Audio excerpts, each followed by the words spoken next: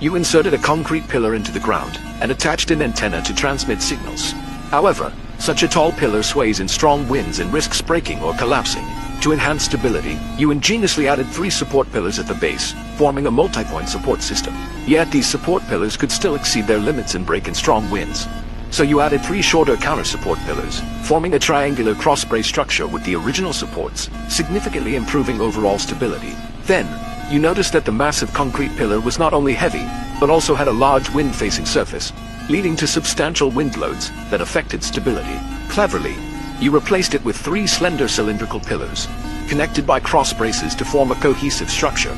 These thinner pillars reduced the wind-facing area, while the cross braces enhanced spatial stability, effectively resisting swaying and twisting caused by strong winds. However, using such a tall structure solely for signal transmission seemed wasteful. So, you added three large spheres. The largest at the bottom serves as a playground and public activity space. The middle sphere as an observation deck for tourists to enjoy the city's scenic views. And the smallest at the top is a control room to broadcast signals across the city. Thus you designed the Oriental Pearl Tower,